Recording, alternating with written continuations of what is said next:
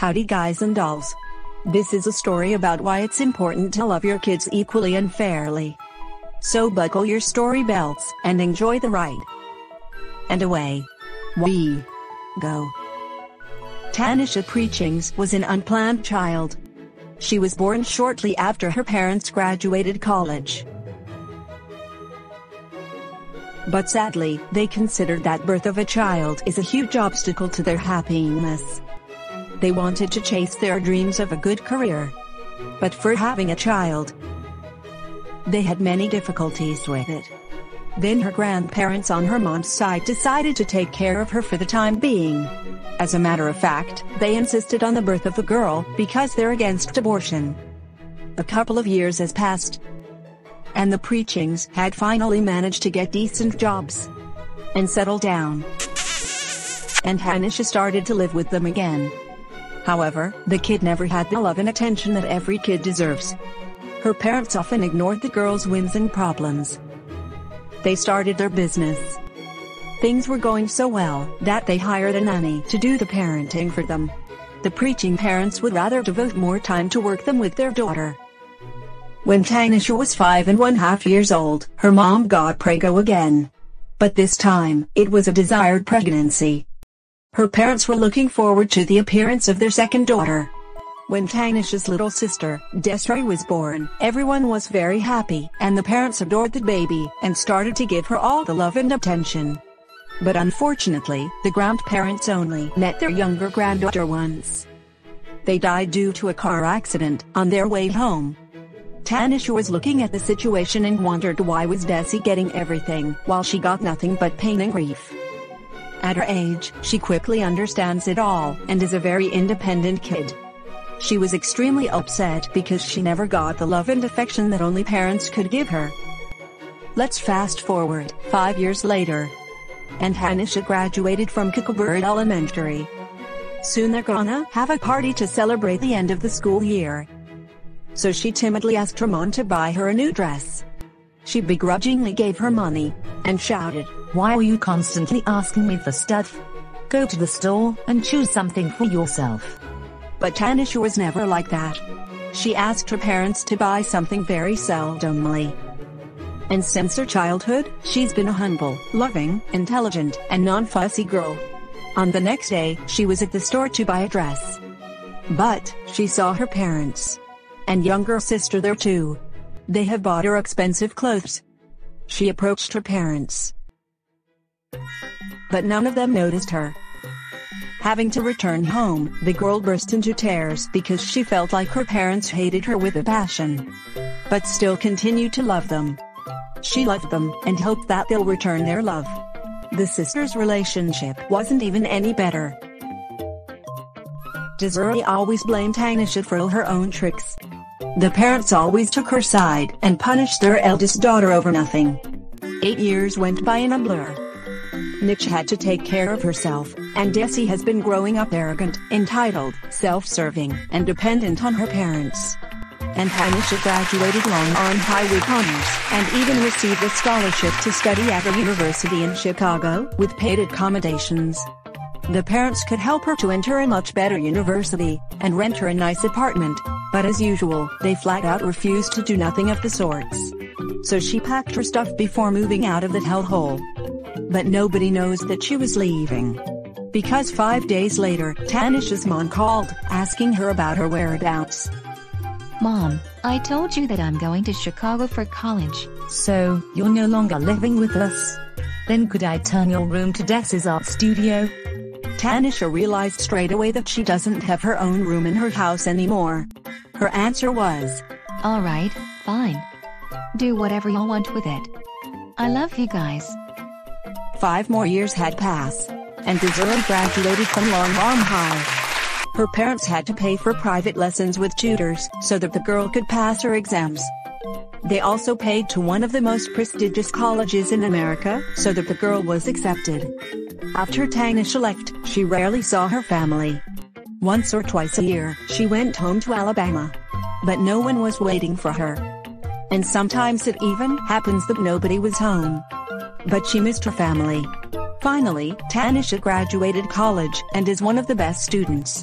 Therefore, a little while after she was fresh out of college, a company offered her a job with a decent hourly wage. Tanisha finally realized that all her efforts hadn't been in vain. She's now a part of a team of specialists who travels around the world to work and promote the services of the company and earned a satisfying amount of money. Everything was looking up for her, despite having a very toxic family. Eh, But soon her parents were on the brink of ruin. They tried to do their best to prevent bankruptcy. Tanisha found out about it from her dad. The girl was very happy because of her calling answered with glee and heard a nervous tone of voice. But her dad didn't ask how she was doing and quickly got straight to the point. Tanisha, sweetie, we need money. Our company is on the brink of ruin. We had to sell all our property and cars in order to avoid bankruptcy, so please buddy, don't let us down. Tanisha heard the words she never heard from either of her parents before. It was a special moment for her, Okay. I'll see what I can do. so she went to the nearest bank and sent them a significant amount of money. The next day, she called her parents to check on them and asked if she sent the money. But there was no reply. One week had passed, and her mom called to ask for more money. It turned out that the money she sent a week ago wasn't enough. Nisha said that she'll gladly do it. She was gonna take out most of her savings. But first, she wanted to find someone from her family on social media. Her parents weren't registered anywhere. She easily found her little sister on Instagram. And when she saw Desi's photos, she looks like she has seen a ghost. One pic shows our dad with a bottle of Jack in his hands next to his car which he said he had sold. What a liar. And another shows that Des was sitting in an expensive cafe with her mom. Why those selfish pics? All these pics were new and were posted right after the girl sent them the cash. I can't believe this. Those vile, rotten, toxic, gold-digging scumbags betrayed me. Not one of them had changed at all. So she firmly decided that enough was absolutely enough. So she stopped giving them money altogether because it's very clear that they don't need it in the first place. Another week has passed, and Tanisha's mom called her and was indignant that she still hadn't sent the money. I'm sorry, Mom, but I'm gonna cut you off financially. How dare you do this to your family? I gave birth to you, And that was the only nice thing you did for me. All my life, you and Dad ignored me, favored my sister over me, ridiculed me, and I couldn't catch a break because of you guys.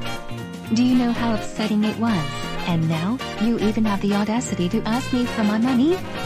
What the actual heck is wrong with you? The reason why I was helping all is because I felt tons of pity for the people who I thought were my family. But not anymore, y'all don't care about me. So give me one reason why should I keep caring about your problems? See that? Nothing. Now do me a solid, and don't you dare try to talk to me, call me, text me, or even contact me in any way.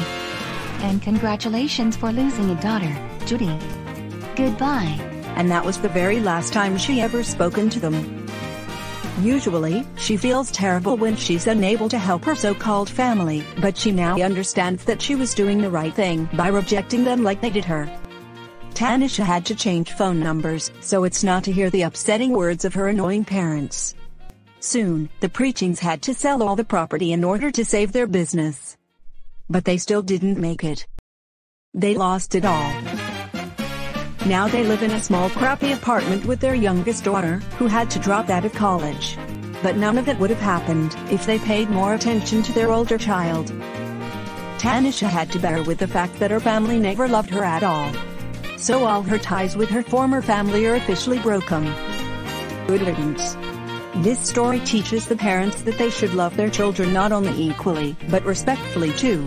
And they shouldn't give prominence to one of them because it could only cause harm and grief. So Desiree, who used to have the world revolved around her. Achieved nothing in life, and still lives with her parents. Tanisha, on the other hand is now filthy, stinking, rich and is happily married to an eccentric yet wonderful man, Captain Liam Dingley III, who is also her nanny's nephew. And if they ever have children, Tanisha avows herself that she and Liam could be way better parents than her own parents had been to her. The end. So you see folks, because Judy and Davis couldn't love their girls equally, they shouldn't have more than one. If you like this story, then hit the thumbs up button and subscribe. Well, that's it. Until we meet again, this is Jazz Clown 1999 signing off.